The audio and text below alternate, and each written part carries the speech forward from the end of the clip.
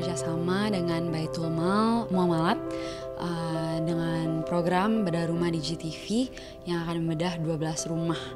Uh, jadi ini kita bedah beberapa rumah yang tidak layak untuk ditempati menjadi layak untuk ditempati.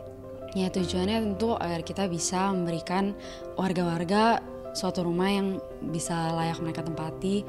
Tentunya harapannya bisa meningkatkan perekonomian mereka juga, kehidupan mereka sebagai keluarga, dan juga ke depannya juga agar mereka juga bisa lebih kondusif um, kehidupannya gitu. Saya bahagia banget, bahagia banget emang ini yang diimpi-impi sama saya dari dulu sampai sekarang. Alhamdulillah sekarang saya udah dikabulkan doa saya sama yang maha kuasa. Saya bahagia banget, seneng banget. Terima kasih banyak tim bedah rumah, BMM, MMC Peduli. Saya mengucapkan benar-benar beribu-ribu terima kasih.